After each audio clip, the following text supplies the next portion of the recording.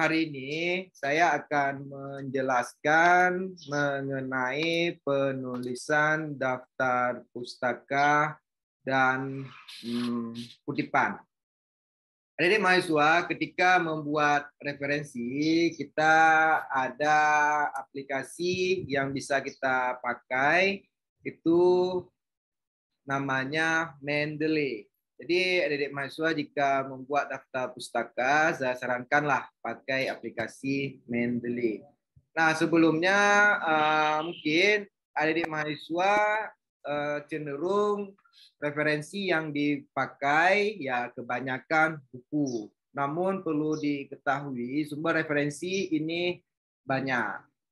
Ya misalnya ada, ada bill berupa tagihan, ada buku, buku uh, bagian ataupun book section, book chapter itu sama. Kemudian ada case ini untuk hukum berupa kasus, kemudian ada program komputer, proceeding, kemudian ada ensiklopedi, ini yang film, katakanlah didik mahasiswa ya. Kalau di sipil ini jarang.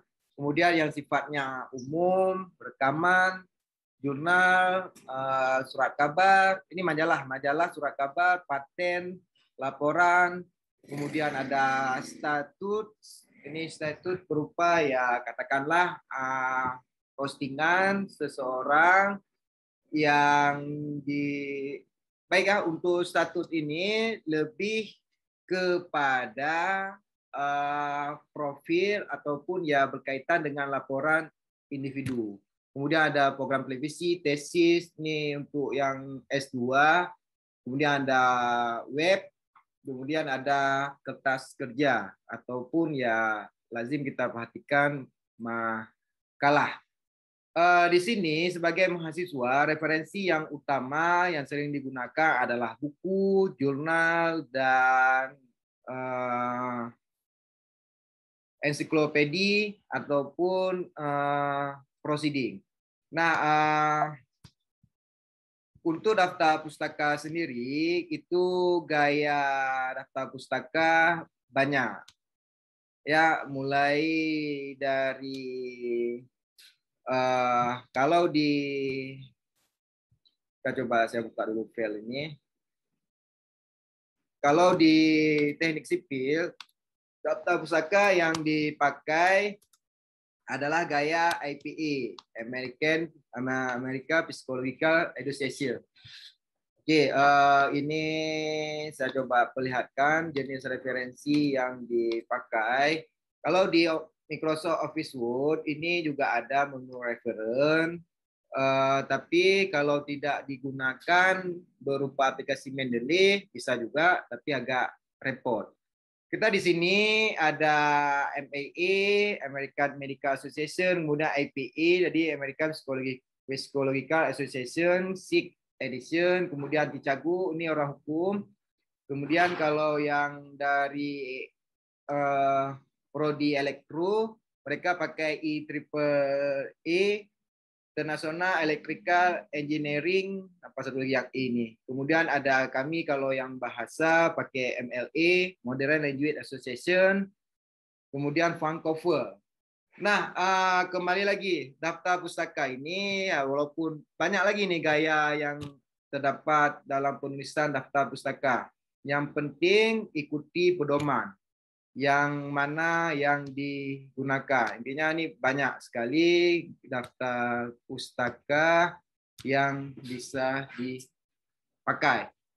Uh, mengapa uh, daftar pustaka ini penting? Itu menunjukkan adik-adik mahasiswa uh, referensi yang digunakan. Kapan kita pakai daftar pustaka? Untuk semua tulisan yang sifatnya ilmiah. Tapi berbeda kalau adik mahasiswa buat ilmiah populer seperti opini, itu dia nggak perlu dipakai uh, yang namanya uh, tulisan daftar pustaka secara lengkap. Baik, uh, kita sekarang coba lihat dulu penulisan daftar pustaka yang dari buku. Pustaka dari buku. Nah, uh, yang terpenting saat menulis daftar pustaka dari buku, adik-adik mahasiswa uh, input terlebih dahulu identitas. Saya coba lihat dulu yang uh, untuk oh, uh, can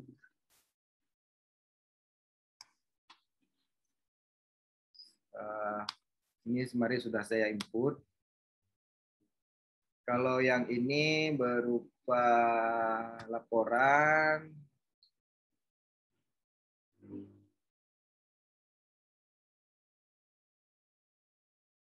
Uh, Oke, okay, baik. Nah, ini salah satu contoh buku. Identitas yang harus dimasukkan dalam buku adalah dia judul, kemudian penulis. Uh, katakanlah nama saya Rahmat Nutihal. Tentu uh, urutan nama terakhir dipindahkan ke depan. Jadinya Nutihal Rahmat. Bisa di sini Rahmi Namira Ufrida. Kemudian tahun ini halaman nggak terlalu penting, tapi ketika diinput, uh, dia gini, kalau di publikasi luar negeri, mereka itu uh, beda dibedakan antara jurnal dan buku. Kalau buku itu tidak apa kalau buku wajib dicantumkan halaman, sedangkan jika jurnal itu tidak perlu perlu. Makanya ada katakanlah tahun kemudian peg berapa. Nah, kemudian uh, kota penerbit ini yang paling penting. Baik, uh, ini saya coba input langsung di Microsoft Office Word yang sudah kita sinkronisasi dengan aplikasi Mendeley. Nah, saya gini, menurut ini tinggal kita pilih insert for citation Eh, kita ketik judul, langsung muncul uh, rujukan yang akan di, maksudnya akan muncul uh, referen ataupun ke mana link yang ditujukan. Nah, ini sudah keluar. Dan di ujian akhir semester sendiri nanti saya juga akan menanyakan soalnya berkaitan dengan penulisan daftar pustaka juga mulai dari jurnal, buku, proceeding sampai kepada uh, webpack kalau tadi namanya yang berupa website. Nah ini nggak tahu nih kenapa bisa lambat sekali. Oke, sebentar dulu ya. Mungkin karena aplikasi yang terlalu banyak terbuka. Baik, ini udah keluar. Sudah muncul di Microsoft Office Word. Nah, ini yang muncul di bagian daftar pustaka. Menurut Hantono, karena kita penulisannya uh, di awal, ya kalau di bagian akhir di akhir paragraf itu ya seperti tadi kita buat dalam kurung tapi kalau misalnya di awal ya buat aja seperti ini menurut Haltono dan Rahmi mengatakan uh, menurut Haltono dan Rahmi ekonomi kreatif katakanlah ya kreatif seterusnya Nah, ini jika pakai aplikasi Mendeley, dia nggak repot lagi, langsung muncul yang berupa uh, penulisan daftar pustakanya. Tinggal dipilih ataupun ditekan insert bibliografi. Ini ya keluar otomatis dia berupa daftar pustakanya. Saya pribadi sekarang nggak lagi uh, kalau dulu hafal lah Penulisan daftar pustaka itu dikenal ataupun disingkat dengan Nataju Tempi, nama, tahun, judul, tempat penerbit. Tetapi sejak saya menggunakan aplikasi Mendeley ini, ya agak sedikit terbantu karena kan banyak banyak sekali jenis daftar pustaka yang ada. Kita saya pribadi nggak mau menghafal karena hal ini kan bukan sebuah uh, keharusan untuk kita hafal, tapi ini lebih kepada penerapan. Baik, uh, tadi saya hentikan bagi saya karena lambat di laptop. Nah, ini sudah muncul urutan penulisan daftar pustaka. Untuk daftar pustaka dari buku, urutannya nama, kemudian tahun, judul, kota penerbit, dan penerbit. Nah, sekarang coba kita lihat daftar pustaka dari jurnal. Ini dari buku, kemudian dari jurnal. Nah, uh, berbeda halnya buku dengan jurnal. Kalau misalnya untuk buku itu untuk jurnal perlu ditulis secara lengkap berkaitan dengan volume, nomor dia harus lengkap untuk dimas apa lengkap dimasukkan di dalam aplikasi Mendeley ini.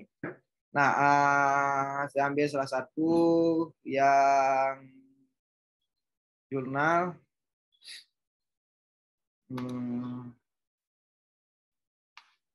ini nggak ada file saya mau yang ada file langsung.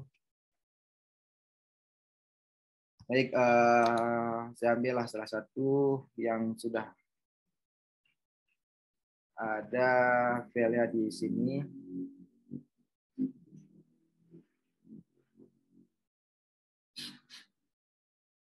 Kebetulan saya lagi susun juga artikel ini ya ambil bahasa Indonesia aja lalu agak sulit nanti kita para perhatikan ke dalam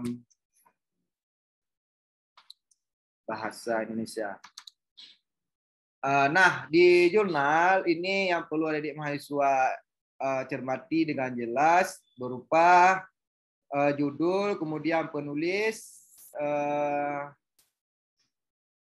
Selanjutnya ini nama jurnal. Ini kan jurnalnya jurnal pemikiran sosiologi. Kemudian ada tahun, volume, nomor, dan halaman.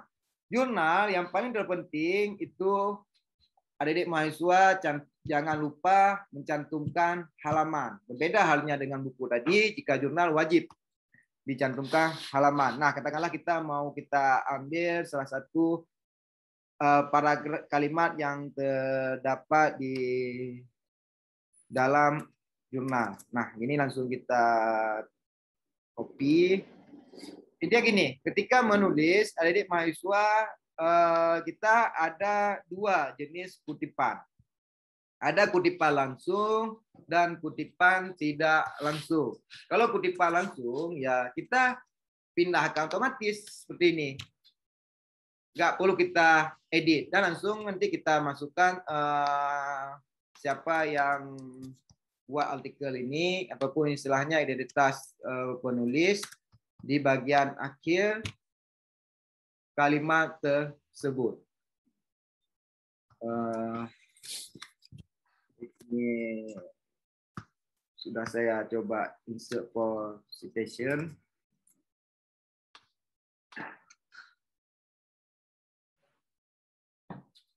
Nah, jika menggunakan aplikasi Mendeley tadi, dia uh, sistem akan membaca dengan cepat untuk penulisan daftar pustakanya. Nah, uh, di sini uh, apa yang perlu dicermati untuk penulisan daftar pustaka dari jurnal dimulai dari urutan nama penulis, kemudian tahun, judul, yang perlu dimiringkan adalah nama jurnal, kemudian volumenya. Sedangkan yang lainnya itu tidak perlu. Oke, baik kita perhatikan. Ini tadi uh, kita buat dalam kutipan langsung. Yang mana uh, tidak kita edit sama sekali redaksi di dalam kalimat tersebut. Sedangkan kutipan tidak langsung, kita ambil intisari yang terdapat dalam uh, paragraf ataupun kalimat yang kita citasi. Misalnya di sini ujaran kebencian mengiring kebebasan pendapat di media sosial.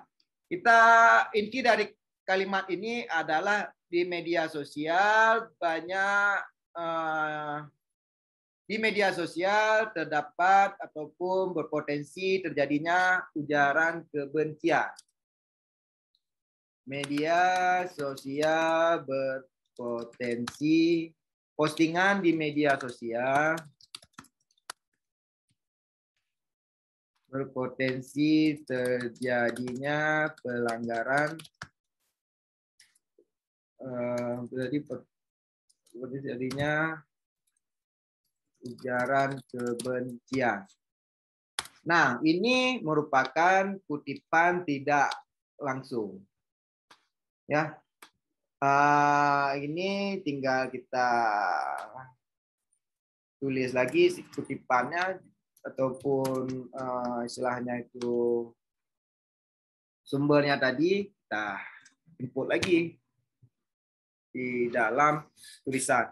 Nah, uh, jurnal sendiri ada banyak ragamnya, mulai dari jurnal internasional sampai jurnal nasional. Dan di jurnal nasional itu sendiri juga ada lagi, ada jurnal nasional terakreditasi ataupun jurnal yang tidak terakreditasi. Jadi uh, silahkan pilih referensi yang sebagus mungkin guna mendukung keakuratan tulisan yang kita buat.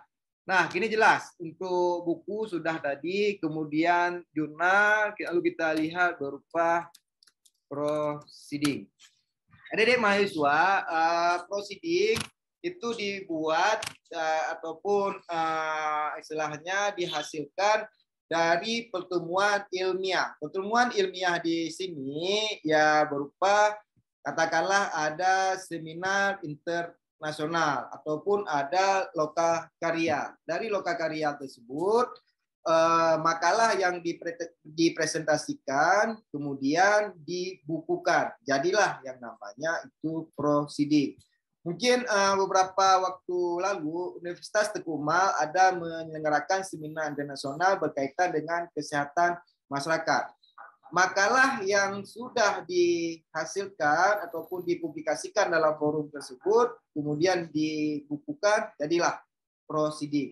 Tentunya uh, untuk proceeding uh, tingkat keilmiahannya juga tinggi dibandingkan dengan buku. Karena tidak sembarangan buku yang di proceeding yang diterbitkan ini uh, bisa beredar luas dengan kata lain untuk menghasilkan sebuah proceeding butuh beberapa tahapan mulai dari seleksi abstrak, seleksi uh, makalah sampai kepada tahapan penyuntingan. Sedangkan buku itu kita ada duit berapa katakanlah 500 ribu kita pergi ke penerbit jadilah buku tersebut. Baik adik mahasiswa kita coba lihat yang dari proceeding. Uh, untuk proceeding sendiri uh, dia yang perlu diperhatikan uh, ada yang namanya waktu penyelenggaraan. Kalau uh, jurnal dia kan tidak. Baik, ini salah satu proceeding.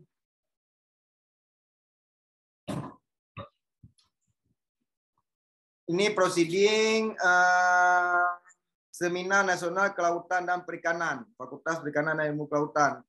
Uh, informasi yang harus dicantumkan adalah judul, kemudian penulis. Ini penulis ada satu, dua, tiga, empat orang. Sama, aturannya tetap nama penulis, katakanlah uh, Rahmat Utihan, nama belakangnya dipindahkan ke depan. Kemudian uh, proceeding title ini untuk judul dari kegiatan tersebut, tahun, halaman. Kemudian ada kotanya di mana, siapa penerbitnya. Ketika menulis proceeding, uh, yang muncul ataupun urutannya adalah saya coba bagikan lagi dulu layar biar tidak ada yang terlewatkan. uh, hasil da penelitian dari ini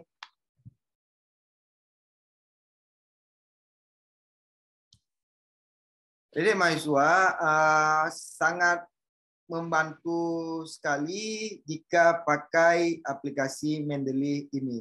Yang pertama, kita tidak lupa ataupun uh, daftar pustaka yang kita cantumkan itu tidak ada yang terlewatkan karena uh, kalau dibuat manual kadangkala di dalam teksnya itu ada di dalam ataupun di daftar pustaka tidak dicantumkan ataupun sebaliknya di daftar pustaka ada sedangkan di dalam teks itu tidak dibuat. Nah, uh, ini dari proceeding kita lihat uh, bagaimana urutan penulisan daftar pustaka Nah, uh, kalau lebih dari dua orang, lazimnya kita ini buat di kakak. Tak lupa di daftar pustaka bagaimana ya daftar pustaka harap ditulis secara lengkap penulisnya. Sedangkan di dalam ini, dalam teks cukup buat aja di kakak. Nah, ini urutannya.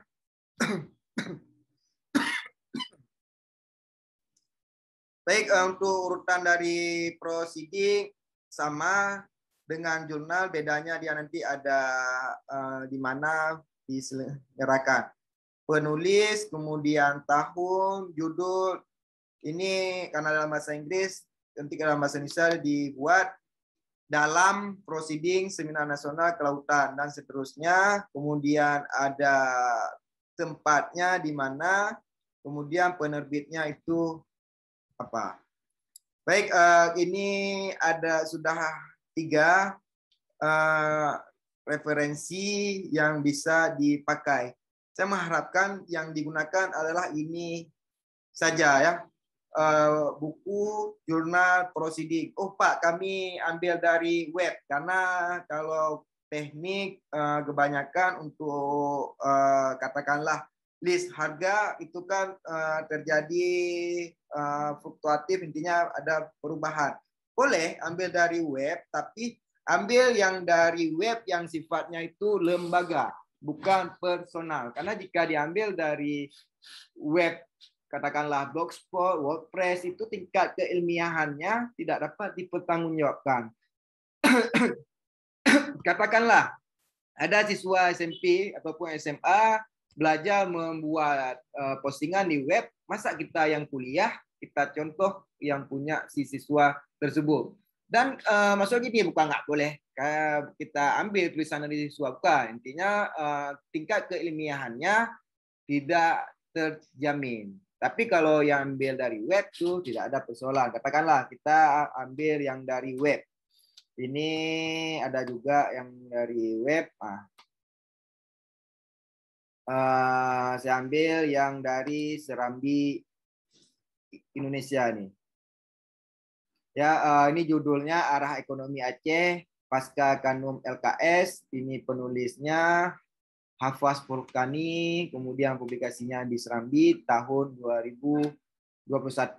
Kapan kita akses dan tautan ataupun istilahnya link yang digunakan.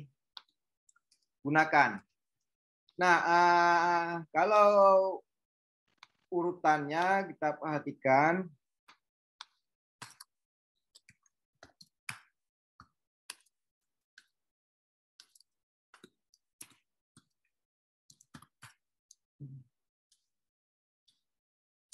artikel dari si ini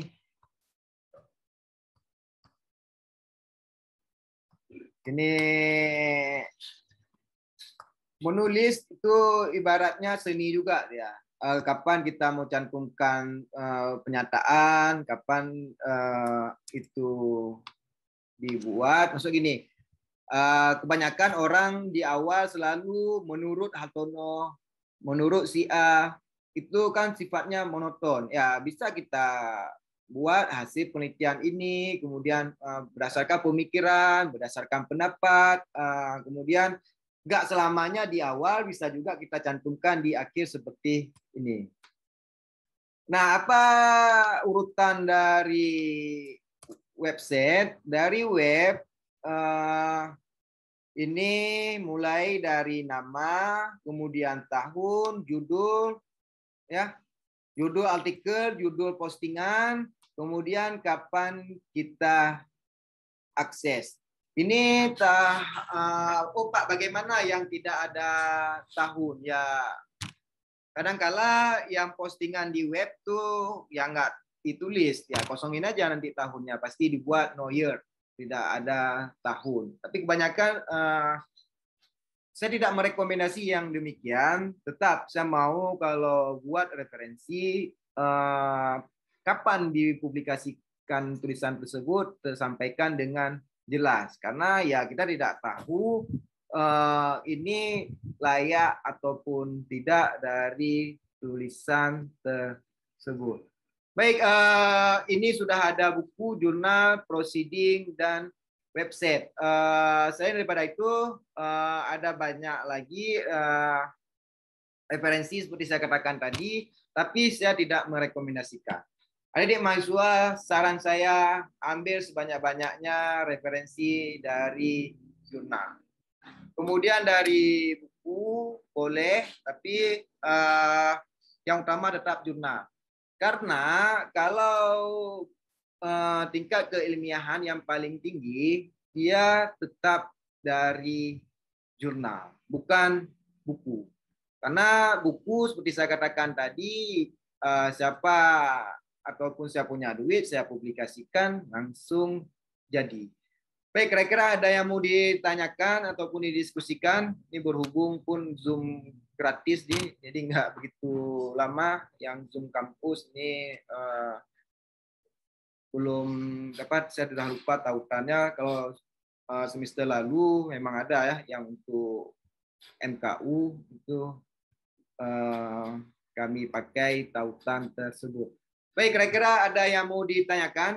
Nanti uh, video rekaman ini saya bagikan lagi di grup bagi yang berhalangan hadir bisa menonton uh, rekaman perkuliahan ini.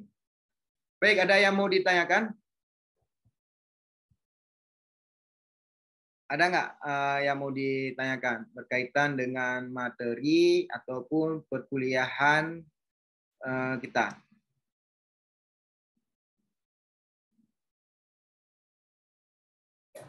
Eh kalau tidak ada, uh, saya coba absennya dulu yang hadir pada hari ini. Uh, perlu saya tegaskan lagi, untuk daftar pustaka ini bukan sifatnya teori ya. Ini diharapkan dipraktikkan ketika menulis.